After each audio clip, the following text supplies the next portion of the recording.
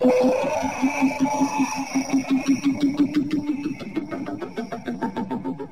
bien bonjour à toutes, bonjour à tous, je suis le professeur Bernard.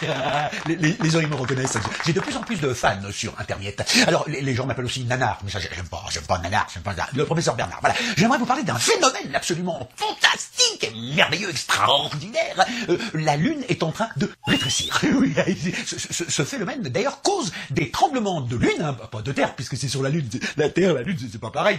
Enfin bon, des tremblements de Lune pouvant atteindre 5, hein, 5, 5 sur l'échelle de Stéphane Echer. Voilà. Et, il faut savoir que cette Lune rétrécit, mais de très peu. Par, par exemple, elle a rétréci de 50 mètres, hein, de- le, diamètre, la le diamètre, de 50 mètres en plusieurs centaines de millions d'années. Donc pas d'affolement. Et tout ça, c'est la faute de qui? Eh ben, eh ben, eh ben, eh comme d'habitude. Ah, C'est la faute de Macron. Hein. Depuis que Macron est au gouvernement, tout, tout, tout, il nous aura tout fait. Il nous aura tout fait, Macron, tout, tout. C'est un scandale. C'est- une honte. C'est non mais Emmanuel, il faut, il faut, il faut arrêter. Il faut, ça, ça, ça commence à bien faire. Et bien voilà, on se retrouve donc euh, la semaine prochaine. Je vous parlerai d'un autre phénomène absolument Des poils poussent sur le soleil.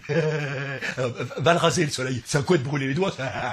Mais, mais ça, on, on en on reparlera euh, la semaine prochaine. Au revoir.